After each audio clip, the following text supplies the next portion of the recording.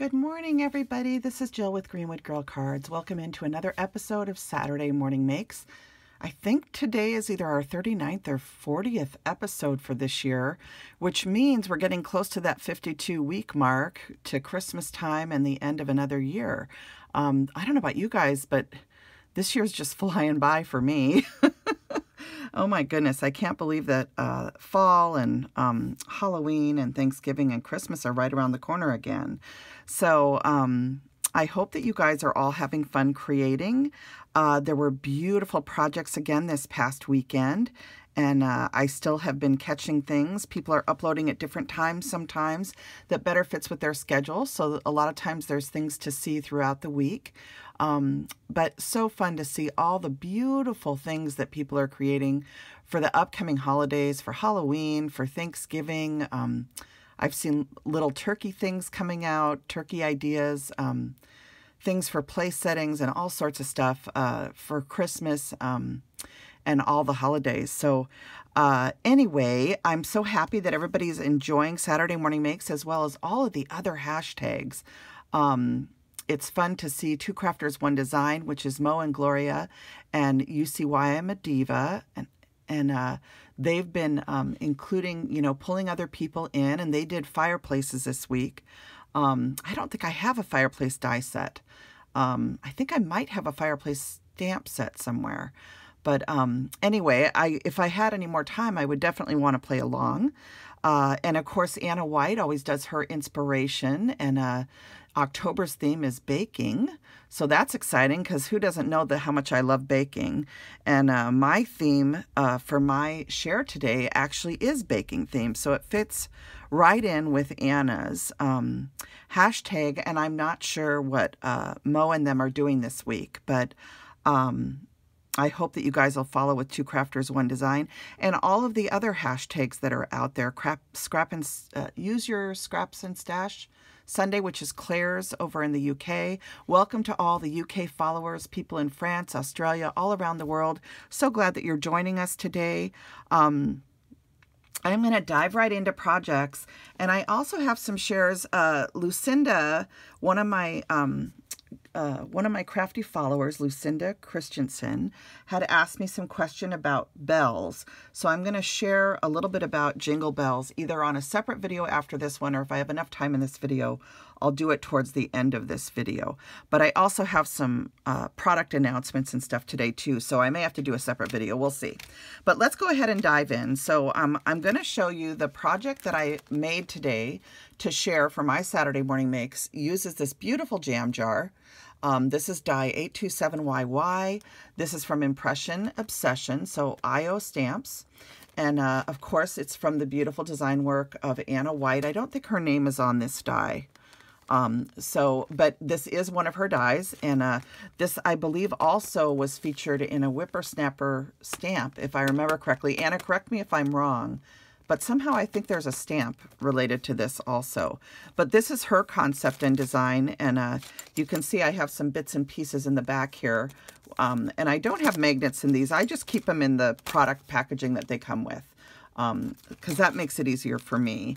Uh, the other thing that I used, and you may have seen me post about this on Instagram, but I use this little tiny ginger charm, and um, with it, I use one of my teeny tiny Peachy Keen face stamps. And these are some really tiny face stamps that I asked Kathy to make when we were developing um, my favorites assortment of her Peachy Keen face stamps. So these are all of her faces, some of my very favorite faces, along with some cheeks that I designed that she added in. And uh, these little teeny tiny faces are made to fit um, this baby charm. And then there's also a face, I think. No, this charm has this. So you can either die cut this without the face piece in or with. And I also have faces that fit this. So both of these um, are just so sweet to use on your tags. So this is Karen Burniston's Winter Charms 1018. So I use that die. I, of course, use my PK3000 Jill Favorites Assortment. And I use this A5 polymer stamp set from Lily of the Valley. So Lily of the Valley stamps are the LOTV Digi Shop on Etsy. And it's the Baked with Love tags. So I also use these.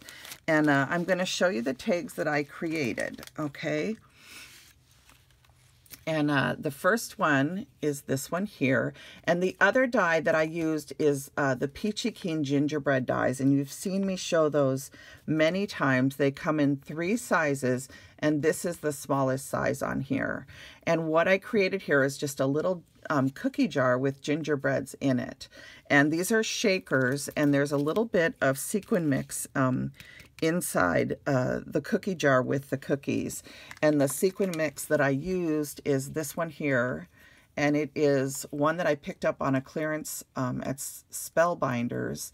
Um, and it's called Confetti Sparkle Elements Clear Sparkle. And it's a Fun Stamper's Journey product. And I believe it still is there for clearance. So if you're interested in it. But these are just little flat um, glitter sequin. Uh, here, I'll show you. I'll open it so you can see what it looks like. Okay, so they're not really sequins. They're like a larger size glitter. And uh, that's what I put inside the cookie jar. Okay, so that is what you kind of see in here floating around. Um, and then I just used a variety of papers. Um, these were mostly cut papers, like leftover pieces that were in my stash, okay? So I have a big bin where I keep all of my, um, you know, if I die cut, if I cut up a 12 by 12 piece of paper, obviously I'm not going to use it all necessarily in one sitting. So I always keep all my scraps organized and I just pulled from my scrap bin to create all of the tags that I'm showing you today. Um, and then here's that little five cent gingerbread cookies um, little tag that I added, and I did add an eyelet to it. And then I added two little rusty um, bells to this. And these are um, bells that I get at Factory Direct Craft. Um, but I'm sure you could also get them many places. Um, so that's what this is on here with a little garment pin that's pinned through um, this ribbon. And the ribbon is 1 8 inch velvet um, trim. And uh, this might be the velvet trim I got from Amador, I'm not sure. Um, but anyway, uh, this is the first one, and I made a series of these. Um, let me move this out of the way here for a second. Um, so, and a lot of these use papers from Irala Mija shop on Etsy because I use a lot of her papers and I do end up with scraps left over when I do cards and stuff. So this was a scrap. This is a scrap from Paper Tray Ink, this pink gingham in the back. There's my two sweet little gingers, and of course the little faces are from my Peachy Keen Face stamp, PK3000. And then um, I did this little yummy tag from LOTV DigiShop, and then two of the little foil jingle bells, which I told you I got on eBay years ago. I bought a huge bag of these. And so I just added those to this. And then this is some um, wired uh, tinsel trim. And uh, I will show you where I get that from. I do have a source of that.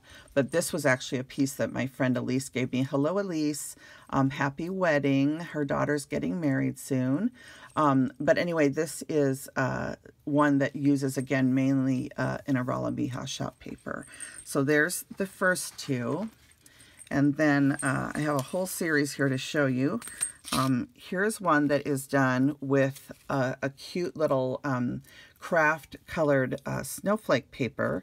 And then you can see this one has a lot of shaker bits in it. and then the two little gingers.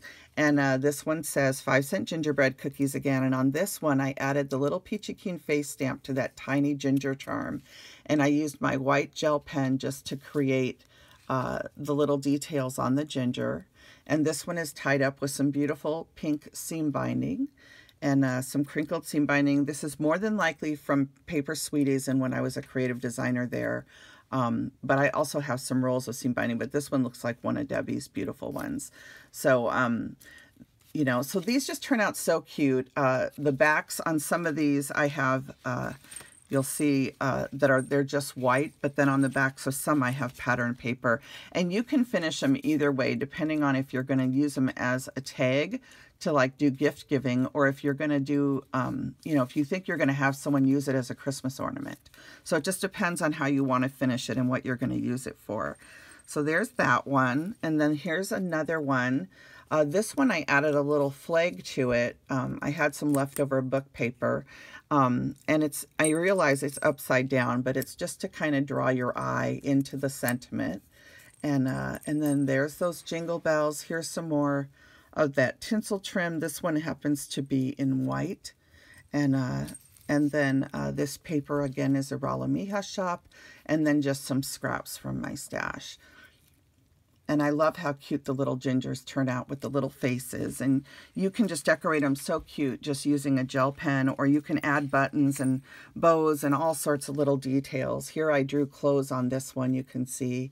And uh, this one, again, says gingerbread cookies. I love this stripe paper. I think this is a leftover either American Crafts it might be American Crafts. I think it's from a paper pad, a Christmas paper pad that I have. And then this one I tied with a little bit of twine too.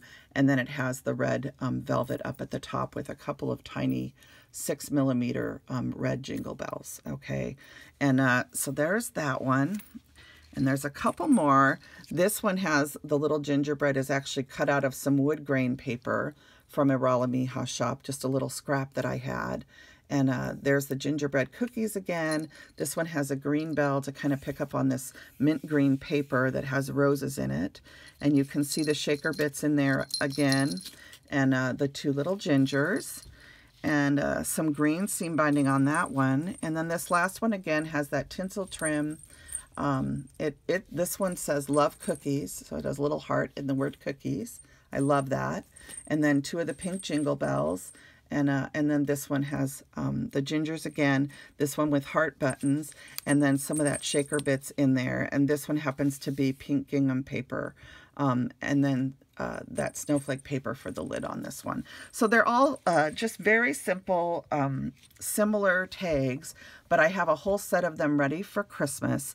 And then while I had the die set out, um, I was cleaning my kitchen and I had this um, piece of plastic like this box um, from Trader Joe's, and it was made out of this thick plastic. And um, I thought, I wonder if I could die cut it.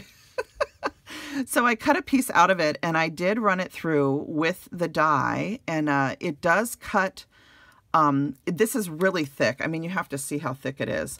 Um, and uh, so it, what it did was it scored into the plastic, and then I took my um, my my Tim Holtz scissors and I just cut around the score line to get the jar shape. Then I die cut the paper pieces of the jar and added it onto the plastic. And you can see the plastic even has, I don't know if you can see it really well on camera, but there's an expiration date printed right here. And I purposely cut it with the expiration date there because I just thought it was kind of cute, like a expiration date on a jar. But um, anyway, so uh, you can use plastic packaging to make little clear glass jars. And so that is what this is. I know you can't really see it very well. I'll put it up against here. But it is just clear plastic packaging. And then I took my strawberry jam stamp from Dianna Marcum um, and I added that to the label here. So these would be so cute. Like if you wanted to give some homemade strawberry jam at Christmas time or even just for gifts any time of the year um, I thought this would be a neat presentation, and it made me think of my friend Paula, who puts up a lot of um, uh, preserves and different things, chutneys, things like that. And uh, I, I, should send these to her to, you know, to use um, because I haven't been doing much canning lately. But they did demonstrate uh, Deb Dianna's um, strawberry jam freezer recipe.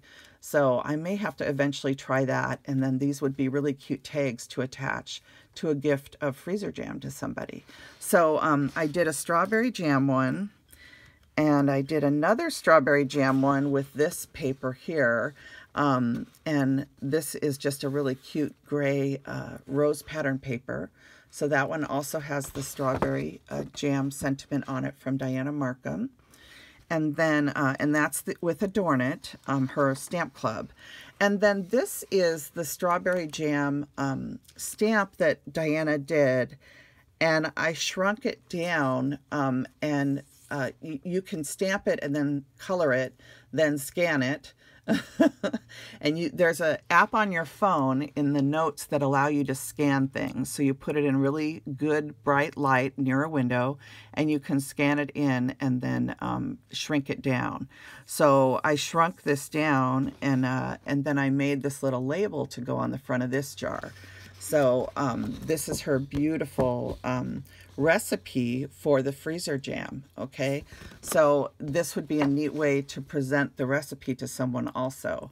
Um, but I just love these clear tags. I think it's a fun option as something different to try out. And then I also did one with her Peach Preserves um, stamp. And I co just colored it with some Copic markers, colored the peach. So I think these just turn out really cute. And it kind of gives you, um, you know, some different ways of using Anna's beautiful, um, or really Impression Obsessions beautiful die set.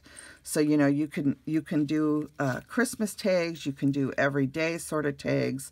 You know, if you were just giving a plate of cookies to someone, wouldn't that be a cute tag to put on your plate of cookies? You can do Christmas ornaments, Christmas tags, and of course you can do um, tags for jam jars and different types of, um, you know, jellies or preserves that you've put up, chutneys, even pickles, you know, so many different ideas. So I just thought, you know, this would be a neat uh, Saturday morning makes uh, episode to do with gift giving season upon us, as well as the fact that it's harvest season and we're still pulling things in from our gardens and uh, you know getting ready for for winter of course but we're it's still harvest season there's still a lot of fruit out there there's lots of things um, you know, that people are trying to preserve. So I just thought this was a nice time of year to pull out your um, your jars and uh, make some tags and stuff. So those are my little Saturday morning makes, um, and I hope you enjoyed seeing them. And while I have you here, I also want to just uh, share a couple things.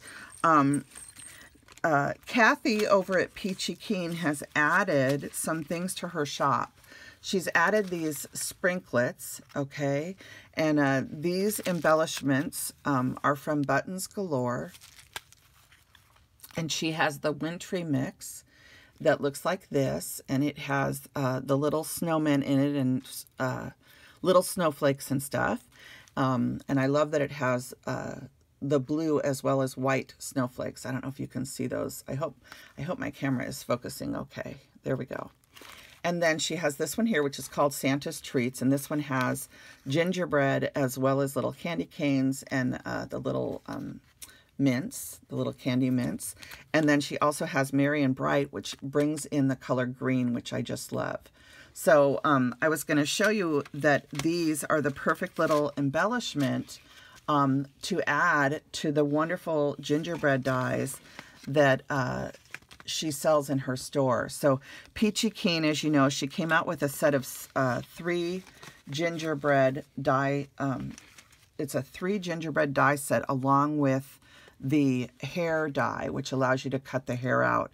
And we had also mentioned um, the, uh, oh my gosh, the stencil. And uh, we actually, what she's decided to do with the stencil is to just do an SVG file for it. Um, there were some manufacturing complications.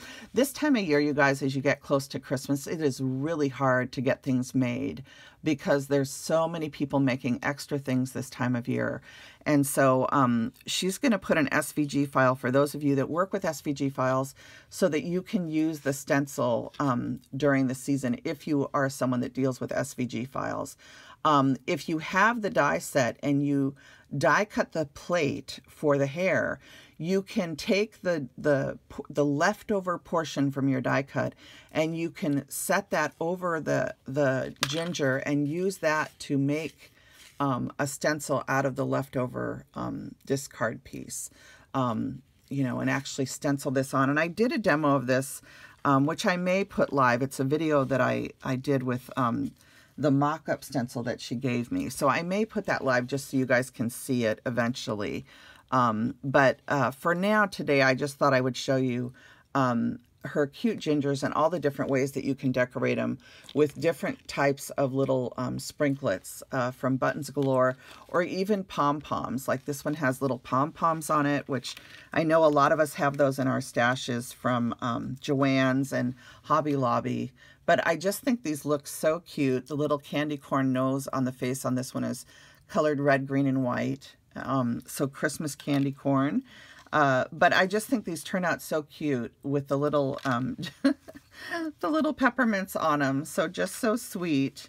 And uh, you can see all three sizes of her gingerbread die right here. So you have the baby, and this is the size that I used, of course, in the little um, gingerbread jars that you're seeing, okay? So this is a wonderful die set. Again, it comes with the, the hair die, which I don't have a good representation of here because I mainly use the stencil on these when I was playing. But um, it does come with the hair die, and I you guys have all seen it uh, uh, from previous videos that I've done. So I just wanted to share that she does have these sprinklets, and they're on sale right now. Uh, I think it's $3.49 or something like that for a set of these um, on sale, or it might be less, I'm not sure. Uh, but those are in her store. And then the other thing that's at Peachy Keen this weekend, um, and it's been out for a few days, are the monster faces. So she has zombies, monsters, and uglies. So four different um, Halloween um, monster face sets, if you will, are also in her shop. So some of you had been asking for those. Those are at Peachy Keen Stamps right now, and they are on sale. So those and the new sprinklets are all in her store, and of course the gingerbreads are still there too. So um, that's my update for Peachy Keen. And then I did want to remind you about the promotion I'm doing in the month of October with Betty of Arala Mija Shop, okay? So Arala Mija um, shop has offered us a discount. Betty has offered us a discount of 15% off an order minimum of 250 US dollars uh, from October 1st to October 31st. And you just have to use um, the promo code Jill15. Okay, so that's the promo code for you. And I'm going to be sharing four projects throughout the month. And if you didn't see this week's project, it's this cute little uh, gingerbread tag using her beautiful um, gingerbread dolls that um, this is a dress printable that I showed in my last video. So if you haven't seen this video, go back and take a look at it.